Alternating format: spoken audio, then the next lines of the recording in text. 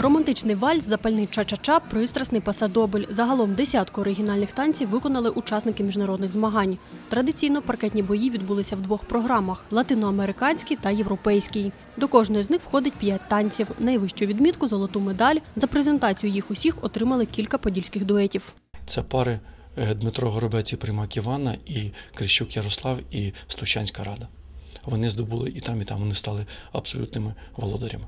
Як станцювали краще за всіх, у таємниці не тримають. Тренувалися в звичному режимі за стандартною програмою, розповів наставник чемпіонів. Займаємося, тренуємося, готуємося, переживаємо.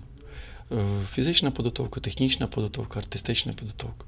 Тобто як так завжди. Змагання в Тернополі були одним із найбільших у цьому календарному році.